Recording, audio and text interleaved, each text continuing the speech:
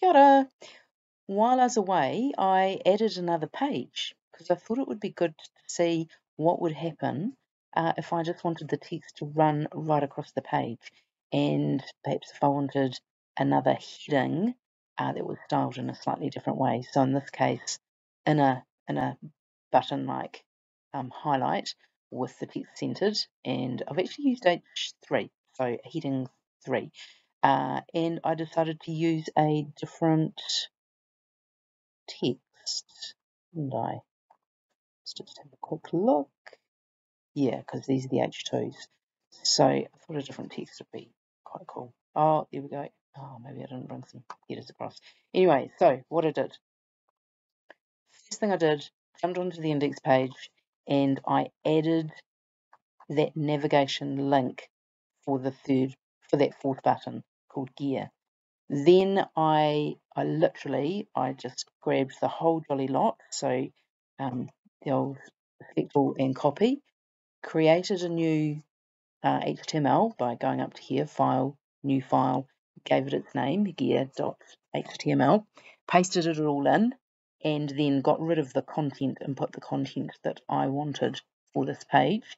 Um, so I had my content all set up on my Word doc, so all I had to do was copy paste, copy paste, copy paste, etc.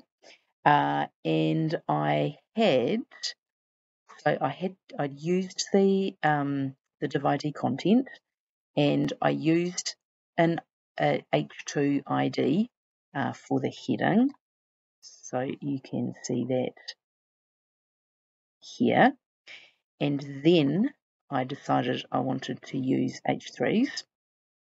So lots of H3s and into the styling I went and this is what I did here. So I targeted the H3 headings within that content div ID. So I chose my, my new font family, which also was at the top of now all of my pages because I popped that in, in here. Let's just I, oh, where am I going? Pop over there. Uh, so I chose my font size, decided I wanted a little curved border, so chose the uh, the border radius, sorted out my background colour, so kept it uniform and consistent, same as uh, other ones that I'd used on previous different headings and other places. Popped a bit of padding, text align centered, and then this is the the thing, the the important thing to get those little button uh, type uh, pages because if I didn't have this, so let's do that, you would see it's coming. Here we go. You'd see the headings go right across. Now you might decide, yep, that's part of my wireframe or that's what I like the look of, that's cool. But I thought that uh, width 500 pixels saved looks quite cool. So that's what I did there. Now, uh, this, oops.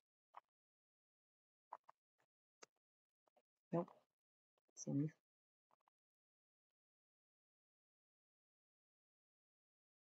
we go. Uh, so the final thing, if my website is complete, is checking that my code is valid. So to do that, sorry, jumping about, uh, I need to access W3 and look, you can just Google HTML validator and this is the one, this is this will be the first one in your list. It comes from W3.